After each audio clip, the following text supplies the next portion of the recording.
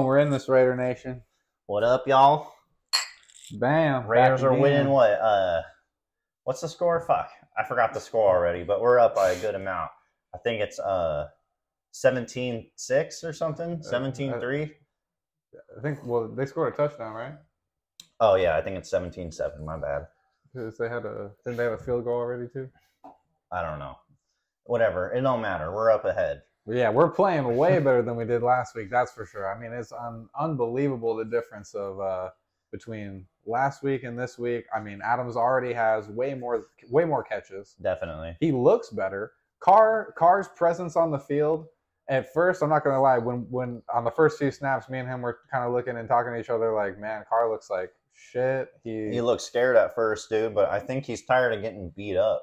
yeah, basically to go off what Seth's saying is I think he's sick of uh letting the defensive line get to him and fucking rattle him, you know what I mean? Even I think it was on that first touchdown he threw to Adams. If you watch rewatch it, he gets he gets lit up at the end of the play, but I think he's past the point of caring, dude. He just wants to win. So that's Yeah. what we need. We don't need somebody who's gun shy back there. We need somebody who's gonna toss it. You know what I mean? and I don't really think it has anything to do with the fact that his job's on the line. I think he really just wants to win. I think like yeah. you know, since he got to the playoffs last season, he's really kind of frustrated with himself about the lack of chemistry that he's had with McDaniels. And so I think just you know, taking this week, I feel like them being in Florida the whole time was really good because they were able to they didn't have to worry about flying a day in uh, Yeah, uh, flying in a day or two before Yeah. and having to deal with the jet lag from the time difference on top of daylight savings time. Right. They had a whole week to get adjusted. I Exactly. agree. I didn't I, acclimated to the weather. I didn't think that was gonna work at first, but the more I think about it, the more Realize that was a pretty smart decision by the, by the team. You know what I mean? Uh, dude, Maxx Crosby, man, oh man. he's wrecking the game for their. I mean, yeah, they got a touchdown, dude. But I'm gonna be honest, that Travis Etienne, he fumbled it before he crossed the plane. Yeah, that and, was, that should uh, have been overturned. Yeah, I mean, they the uh, Jags still picked it up, so whatever. It wouldn't have made too much of a difference. They were still would have been on the one again. But uh, dude, Mad Max, he got what? He got the uh, fumble recovery, and I think he got like a four yard run stop or something. I'm sorry, I can't remember right now. But dude, he's playing lights out. I think de- whole defense is looking good. yeah, Chandler Jones is showing up. yeah, Um, I mean, even with Deablo out, which sucks on the with his forearm injury, and that was, I mean, what five, six plays into the game, I feel like I saw him getting carted off, yeah. It wasn't too long in. and then, uh, and now he's now he's kind of, you know, not sorry, now the defense is trying to trying to work without him. I mean, Perryman's Perryman's looking good. Perryman's reading, Yeah, getting to holes, making tackles. Uh, you know, Harmon, I'm, you know, I don't haven't really seen him do too much yet, but since they had to throw him out there, um, their second, I mean, I just want to say the secondary looks way better today. Yeah. Everett, Everett making a huge play, huge block. It was like a third and it was like a third and three. Trevor Lawrence went uh, for a long ball. It was like a go route, and Everett was right there with his left hand in, breaking it up, just Yeah. right in time. It was perfect. and So shout out to Rock Ya-Sin and uh, Oh my Amit, gosh. too, dude. Our secondary is playing pretty decent today. Uh. everybody we've been talking shit about this whole season so far has just really showed up today. Yeah, I mean, I'm gonna be honest. I picked the Raiders to lose this game just off the way they've been playing the last few weeks, but uh, and I didn't think they're gonna have too much of an answer for. Not that Trevor Lawrence is uh some you know game changing quarterback. He's decent, but he's not Mahomes or nothing like that. But uh, still, they have good offensive weapons. You got Etienne, however you say his name. Got Zay Jones, X Raider, Evan Engram, uh, Christian Kirk. I don't know if he's playing today. I feel like I haven't really seen him, but uh. Yeah, dude, they're they're a decent team. You know, they're two and six, whatever, but they're hungry for a win just like we are. But so far, man, we're just we're outplaying them. Uh, like we said, Adams, Crosby, those guys have really been coming through today. Carr too, dude. Carr's been playing a really good game. Yeah, I'm I'm really liking the the looks of the leadership that he's got. You know, that first sack that he got, probably second second drive, uh, or sorry, second play of the game. It looked like I, Oh, you know, yeah. I was worried. I that was, was the first play of the game. I was like, wow. I mean, already this is. It didn't look like we're off to a good start. It looked like the same start as the Saints game. You know, it was like, oh, three and out.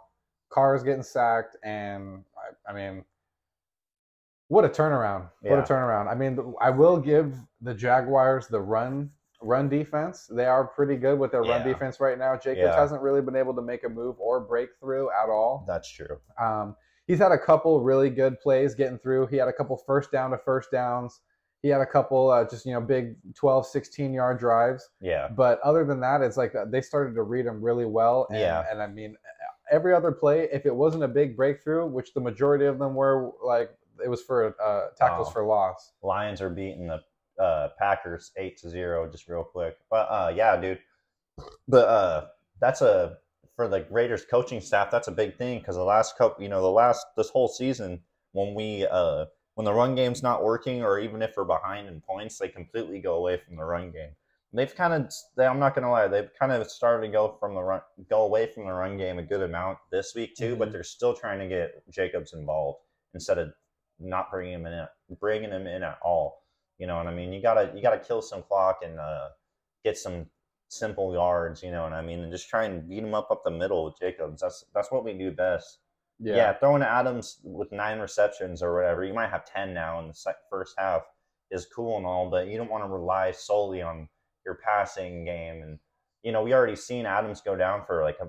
It looked like he got something in the ribs or something. Yeah, his ribs or his knee or Something I couldn't to really tell what happened, but you know, that's the that's the uh that's the risk you involve when you are trying to feed a player like that. You know what I mean? But I think we're getting a lot of success because we're targeting Adams more and we're targeting Renfrow. But the other thing that's giving us that success is one, Waller's not out on the field as a receiver, so our tight end is blocking. And then Mack Hollins, if they're not sending him out in the slot, then he's there blocking too. So Derek Carr has more time in the pocket. He's got more insurance. He feels more comfortable, and there he's able to get out to his receivers that are know that he knows that can catch the ball. yeah, And I'm, I'm not saying that the Jags defense isn't doing good in the secondary. I mean, they're double teaming, you know, triple teaming in some sense, you know, even like kind of with the zone coverage.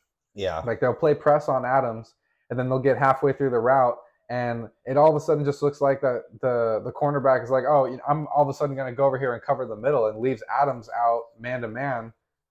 And that's how it seems like we're getting some success. So I feel like coming in from halftime, I feel like the cornerbacks are going to look a lot better on the Jaguar side, and we're going to have to kind of resort to running the ball. And we're if gonna they have to adapt. Yeah, if they keep stopping us on the run and adapt to the to the pass to the pass game, we might find ourselves in a little bit of trouble. So I think um, you know halftime is you know this game's not you know anywhere. In, this, this game's far from over. yeah. So I feel like there, you know there's a lot of ball left to play, and we're not playing good enough to say that this is going to be a, a win for sure. So stuff definitely got to be on our toes and make sure that we're uh, dotting our i's and crossing our t's.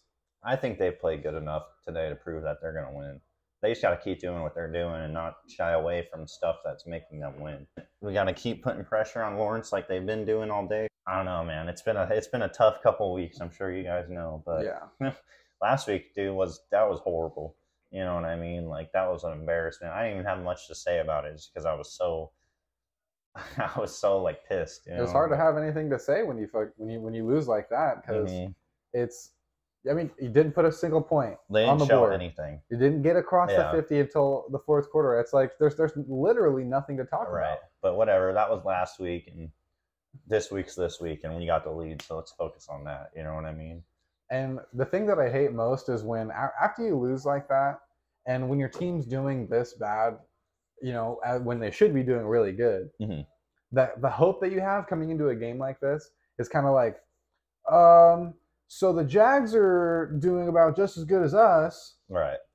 and so it seems like a pretty even matched game. But the second that we got a score, or the second that we crossed the 50 even, I was it was kind of like a sigh of relief. Oh, it was yeah. kind of like a, Definitely. oh, okay, that's not going to happen again Yeah. this week. Like, Definitely. Just the. I don't know. I, I don't know how many passes Adams caught in the first quarter. He's caught in ten in the first half, but uh, yeah, the first couple plays to him, I was like, all right, well, they're trying to get him involved early. But then they started like really trying to feed the ball to him, and mhm. I mean, it's working out. He's got two touchdowns. I'm sure he's over hundred yards. I mean, he was juking defenders. He, Yeah. I mean, he he literally juked like uh, four or five defenders on this one play Right. and doing like a Jacob zigzag run to the outside. I mean, he got that first big touchdown that was for a lot of yards, but I don't even. It seems like most of his plays today have seemed like little like dink and dunk passes, but I mean, it's working. That's dude. what they need because I feel like uh, we watched. Um, if you guys watched Kurt Warner's breakdown, film breakdown of uh, the offensive line and and Derek Carr's uh, passing plays, every single route for Davante Adams last week pretty much was a go route. Just yeah. a just a long go route Yeah. down the sideline to the end zone, and I mean in press coverage, and you're I mean it's sometimes it's double coverage, and there's it's like he's not open and it's still throwing it to him. And then if we're not using Adams for a go route down the down the side of the field, it's Hollins. right. Yeah. And Hollins had a catch or two, and then I think Adams had a catch that they ended up reversing because they said that his feet were out of bounds. oh yeah. And Well, that was a Chiefs game, I think. uh, no, I, I thought that happened last week too. Oh. But uh, the the whole idea is like Adams is really good. He's not fast. He's not the fastest wide receiver out there.